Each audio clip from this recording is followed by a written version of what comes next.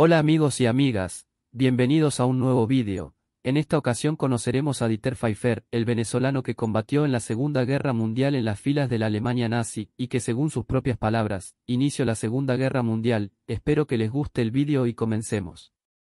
Dieter Pfeiffer fue un oficial de las Waffen-SS y tanquista de la Alemania nazi, nacido en Venezuela. Dieter Pfeiffer nació el 28 de febrero de 1923, en Ciudad Bolívar, Estado Bolívar, Venezuela. Hijo de padre y madre alemanes, su abuelo, fue un general, durante la Primera Guerra Mundial, y tenía dos hermanos.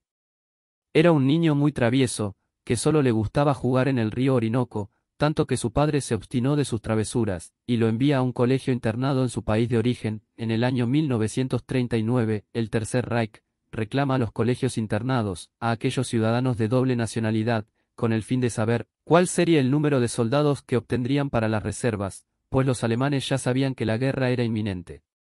Finalmente Pfeiffer y sus hermanos, se enlistaron en las filas del ejército alemán, y Pfeiffer comienza sus estudios como conductor de tanques.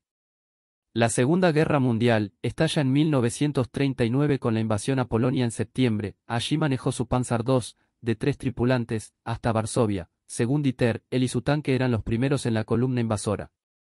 Eso le costó su primera herida de guerra, una bala que logró penetrar el delgado blindaje de los primeros tanques Panzer, y le rozó la pantorrilla. De regreso en Alemania pasó el otoño e invierno siguiente en paz, donde mostraba con orgullo su primera herida de la guerra.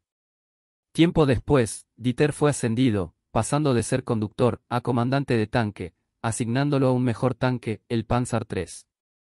En la primavera de 1940, lo enviaron a Francia, de retorno en Alemania, donde partiría a luchar en África del Norte, pero los médicos indicaron que no era apto para el clima y entorno trópico. Dieter les replicaba a los médicos. Yo nací en Venezuela. Pero al contrario, lo enviarían al año siguiente, precedido de un largo entrenamiento, a la invasión de la Alemania nazi contra la Unión Soviética, conocida como la Operación Barbarroja, para el verano, siendo él y sus tripulantes, integrantes de la decimoprimera División Panzer. Casi cuatro mil tanques penetraron fácilmente las largas llanuras rusas, llenas de girasoles, como bien recordaba, el invierno los detuvo a las puertas de Moscú.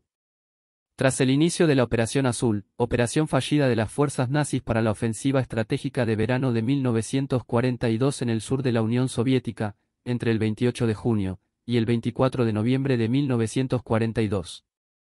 Con sus propias palabras, Dieter dijo lo siguiente.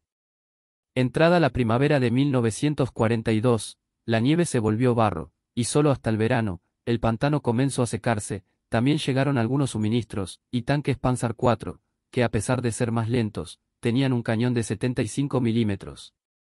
Dieter tenía mucha ilusión con los nuevos tanques alemanes, ya que él sabía que los famosos T-34 soviéticos eran mucho más poderosos que sus tanques. Dieter también relata cómo casi estuvo cerca de encontrar la muerte. Yo ya había destruido un par de T-34, cuando una tarde nos emboscaron cinco de esos blindados soviéticos. Cerré la escotilla, y le indiqué al conductor que diera marcha atrás a unos matorrales, el hombre estaba nervioso, me incliné de mi posición superior para darle un cigarro y relajarlo. Inmediatamente sentí la explosión sobre mi espalda, me quedé sordo y aturdido, y luego sentí ese calor intenso que ardía en mi espalda, con más de diez humeantes pedazos de metal incrustados en mi piel. Tampoco recuerdo cómo me sacaron, pero el artillero estaba partido a la mitad, y otro de mis tripulantes estaba tan herido como yo, había sangre por todo el interior del Panzer, nunca había visto tan cerca la muerte. Pfeiffer después de sanadas sus heridas, regresó al campo de batalla, donde también afirma que ese año, el invierno no fue tan difícil para los alemanes. En 1943, cercana la primavera, Dieter afirmó que los médicos les inyectaban una sustancia que los mantenía despiertos para luchar día y noche. Pfeiffer tuvo el gran honor de que se le fue entregado uno de los tanques más poderosos de Alemania, el Panther, con el cual posteriormente, este venezolano participó en la batalla más grande de tanques de la historia, la famosa batalla de Kursk, en la localidad ucraniana de Tomarovka, en julio de 1943.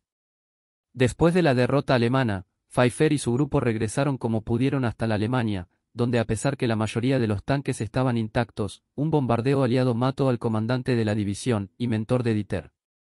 Más tarde, fueron enviados a combatir a Francia, donde tuvo su última victoria, antes de que se rindieran ante los aliados, en la primavera de 1945.